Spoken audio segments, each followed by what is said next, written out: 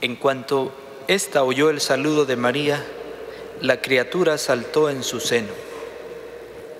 Con este saludo, la Virgen llegaba a casa de Isabel y Zacarías. Hoy también nosotros queremos escuchar este saludo y saltar de gozo. Cada vez que le saludamos con un Ave María, ella nos llena de alegría, de gozo. Celebramos la asunción de la Virgen Santísima a los cielos. Ella nos llena de esperanza, porque al final de nuestra vida no está únicamente la muerte.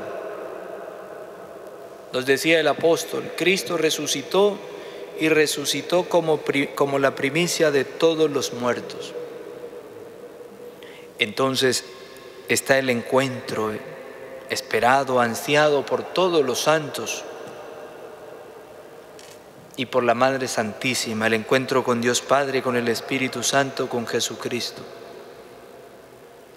Nuestra Madre es primicia porque por medio de ella nos llegó la salvación a nosotros, sus hijos. Hoy Nuestra Señora intercede por nosotros y lo hace con la misma prontitud que fue a visitar a Santa Isabel y a Zacarías. Lo hace llevando nuestras oraciones a su Hijo Jesucristo.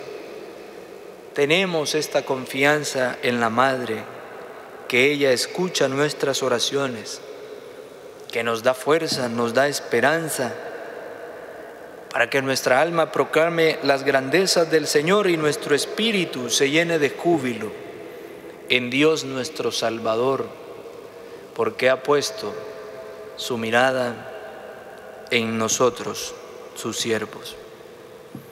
Hoy hacemos aquella bella oración Acuérdate, oh Virgen María, que jamás se ha oído decir que ninguno de los que han acudido a ti, implorando tu asistencia y reclamando tu socorro, haya sido abandonado de ti.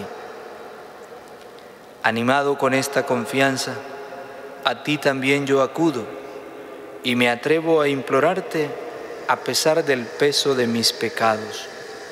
Oh Madre del Verbo, no desatiendas mis súplicas, antes bien, acógelas benignamente. Amén. Amén.